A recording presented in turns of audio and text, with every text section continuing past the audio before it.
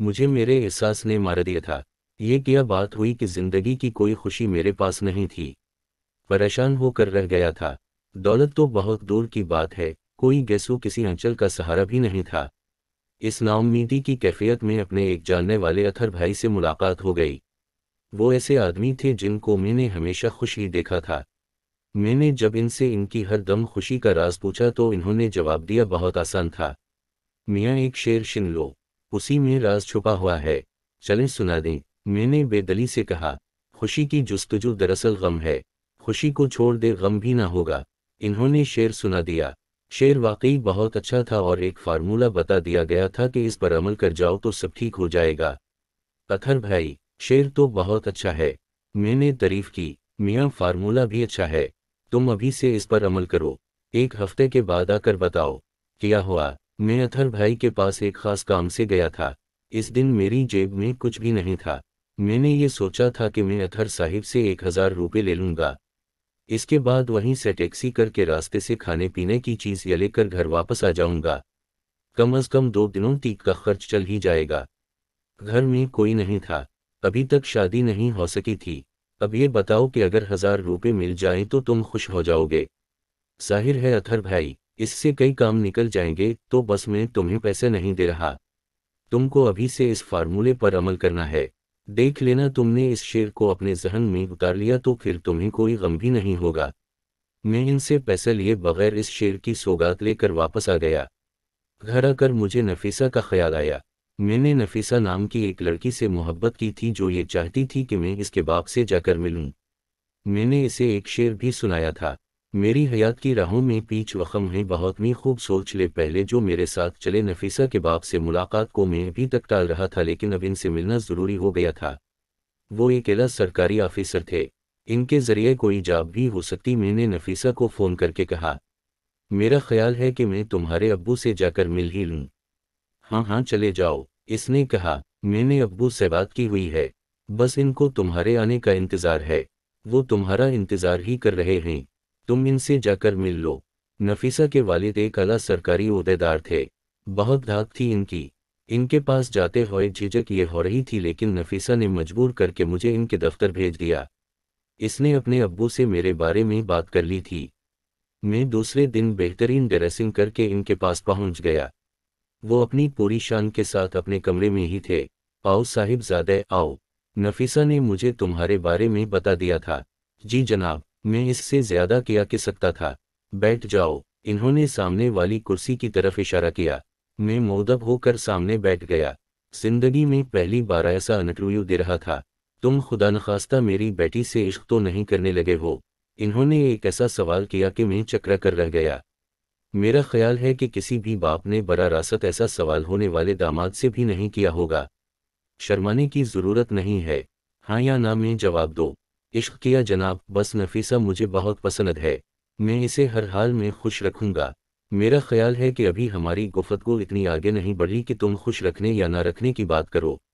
इन्होंने कहा, मैं एक बार फिर चक्र कर रह गया। अजीब बेधड़क इंसान थे। काम किया करते हो। इन्होंने पूछा, जाब की तलाश में हूँ जनाब। मैंने कहा, मुझे उम्मीद है कि बहुत जल्द कोई मुलाजमत मिल ही जाएगी। और इस वक्त तक क्या अपनी बीवी को भूखा रखोगे। नहीं जनाब, सवाल ही नहीं पैदा होता। जो खुद खाऊँगा इसको भी खिलाऊँगा। जब तुम्हारे पास खुद खाने को नहीं है तो इसको कहाँ से खिलाओगे? इसकी फकर ना करिया। शादी के बाद नफीसा मेरा मसला होगी। लेकिन शादी से पहले तक तो मेरा मसला है ना। और मेरा मसला यह है कि मैं तुम जैसे नाकारा इंसान से अपनी बेटी की शादी नहीं कर सकते। मेरे सीने पर पर्चियाँ ही चलकर रह गईं। नफीसा मेरे लिए सब कुछ थी। ज़िंदगी में अब तक सिवाय महरूमियों के और क्या मिला था। कोई खुशी नहीं। अब वो भी हाथ से चली गई थी।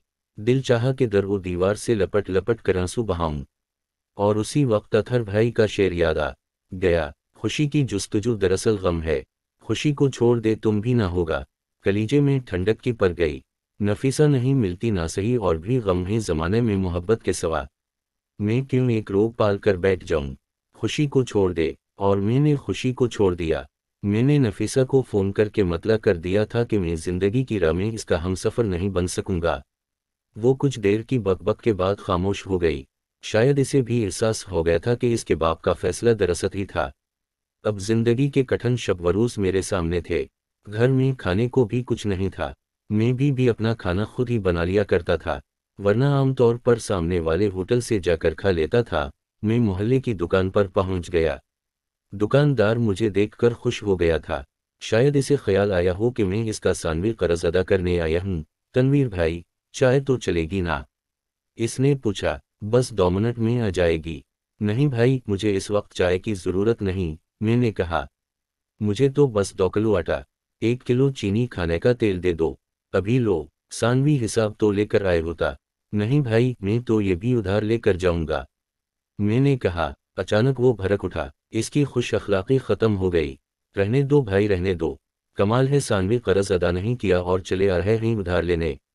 अब क्या इस मोहल्ले में बेवकूफ़ बनाने को एक में ही रह गया हूँ? जाओ भाई, कोई और दुकान ढूंढो। इसकी बक बक सुनकर बहुत दिख हुआ। सोचा था कि सामान मिल जाएगा तो दो चार वक्तों के खाने एक साथ बनाकर रख लूँगा। अचानक एक बार फिर अथर भाई का शेर याद आ गया। खुशी की जुस्तजु दरअसल तुम है। खुशी को छोड़ दे, गम भी ना होगा। मैंने खुशी छोड़ दी और कुछ लिए बगैर ही वापस आ गया। हशाश बशाश कोई गम नहीं था। दिल पर कोई बोझ नहीं था। घर के दरवाजे ही पर नियाजी साहिब खड़े हुए दिखाई दे गए। नियाजी साहिब अपनी नौयत के एक कमाल इंसान हैं। बहुत खुश अखलाक और बहुत ही शखर्च इन्होंने हमेशा मेरी मदद की है।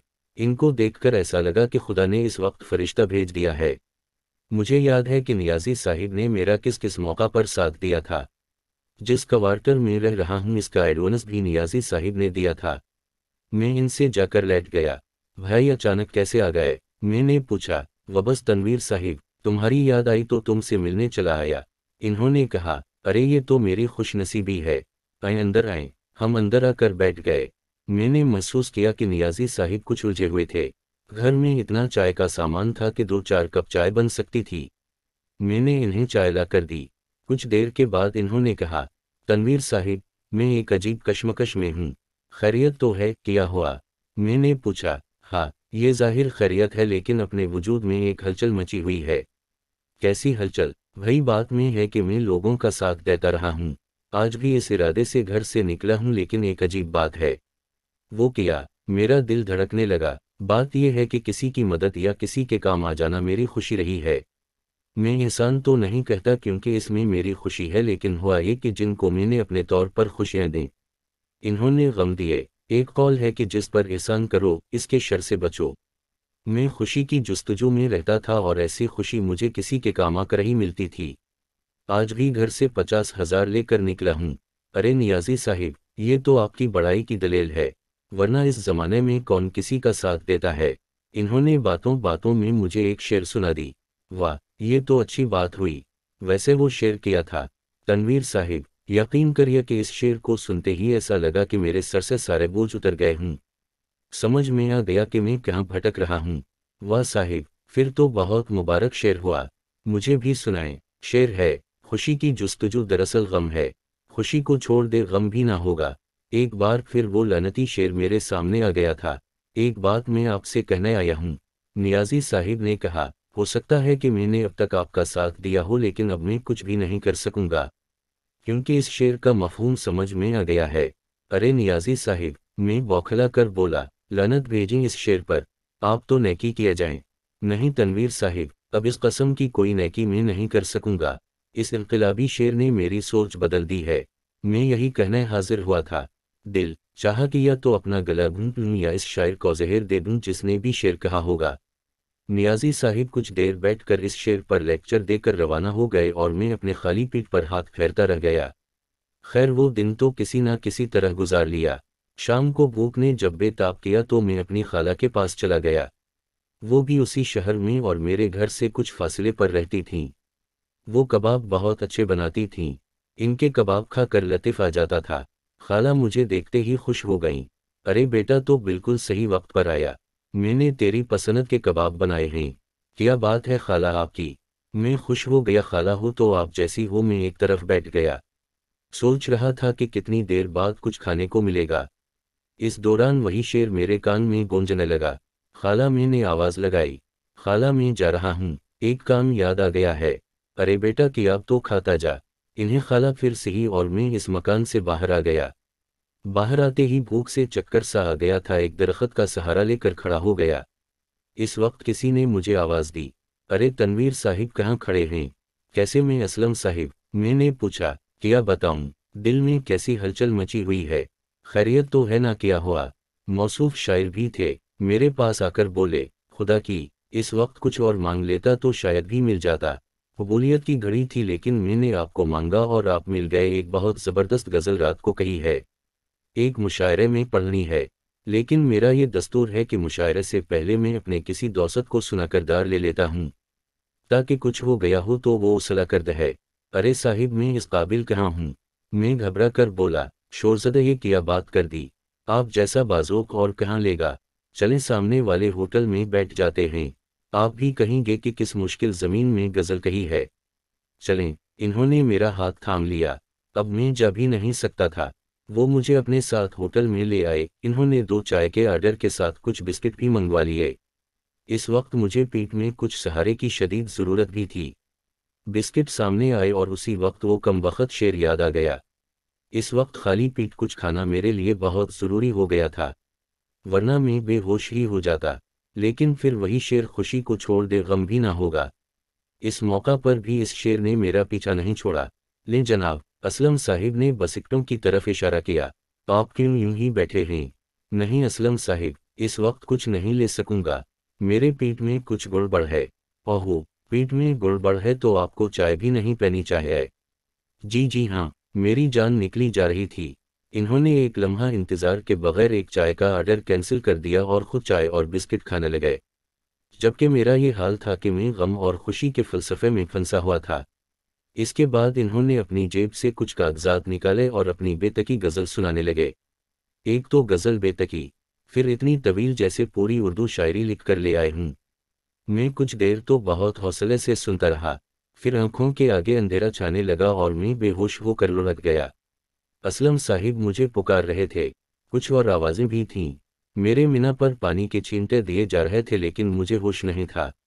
न जाने कितनी देर बाद होश आया होगा। मैं एक बिस्तर पर लेटा था। नकाहत तो थी लेकिन इतनी नहीं जितनी पहले महसूस हो रही थी।